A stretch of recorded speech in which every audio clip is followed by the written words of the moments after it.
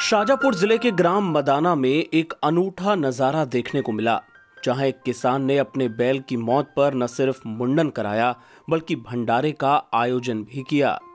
जिसमें न सिर्फ़ मदाना के, बल्कि आसपास के लोगों ने बैल को श्रद्धांजलि अर्पित कर महाप्रसादी का लाभ भी उठाया।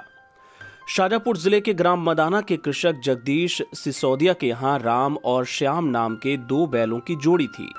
दोनों बैल तीस सालों से किसान के साथ खेती कार्य में मदद करते थे। दोनों बैलों ने किसान का साथ बेटों की तरह दिया। राम की मौत तीन साल पहले हो गई और श्याम की मौत बीती पूर्णिमा के दिन हुई।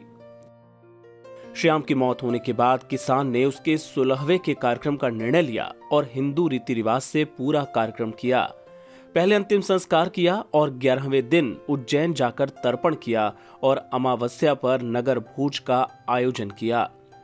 कार्यक्रम के दौरान बैल मालिक जगदीश सिसोदिया ने बैलों की स्मृति में ग्यारह हज़ार रूपए की राशि गाँव के चमत्कारी मावड़ी देव वाले दरबार में निर्माण कार्य के लिए दे दी और श्री महाकाली कामधेनु गौशाला में भी पाँच हज़ार रूपए की राशि दान की।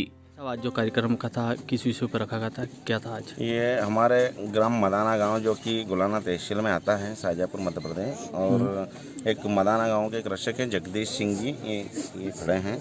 इनके यहाँ बेल थे। पिछले तीस वर्षों से बेल की एक अच्छी खासी जोड़ी थी जो करीब पचास से साठ बीघा ज़मीन को उपजाऊ करने के लिए वो दो बेल ही पर्याप्त मतलब खेती का पूरा काम कर दिया करते थे।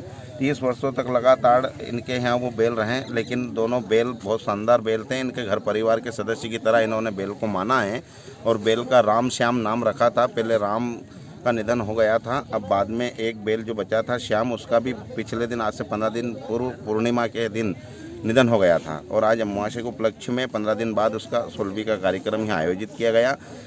हिंदू रिवाज की जो भी परंपरा है उसके तहत कार्यक्रम हुआ है।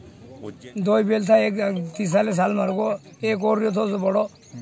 वो को मैंने हमारे मतलब उन्हें पूर्ति इच्छा कर दी हमारी पूरी इच्छा। पूर्णिमा के दिन आने अभी पूनम गई पूर्णिमा का दिन उनका ध्यान होगा तो उनका मैंने ढोल भी संग करा ढोल बजे से।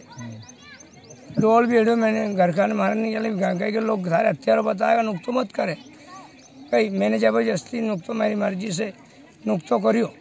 और दिल से सारा गाँव में बुलाया भी, सही मैंने, पर आया नहीं, लोग कम आया।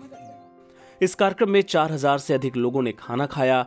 आठ क्विंटल आटा और दो क्विंटल शकर के अलावा बेसन, तेल और अन्य सामग्री का इस्तेमाल हुआ। भोजन में नुक्ति, सेव, पूड़ी और कढ़ी बनाई गई। साथ ही एक दिन पहले रात्रि में खाटू श्याम की भजन संध्या का आयोजन किया गया। एनबीटी ऑनलाइन की रिपोर्ट।